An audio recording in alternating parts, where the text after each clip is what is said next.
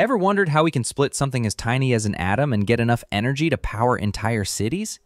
That's nuclear fission. Fission happens when the nucleus of a heavy atom, like uranium 235 or plutonium 239, is hit by a neutron. The nucleus becomes unstable, splits apart into two smaller nuclei, and releases a massive burst of energy.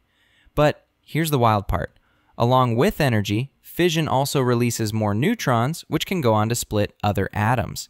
This chain reaction is what makes nuclear power possible, and also what makes nuclear bombs terrifying.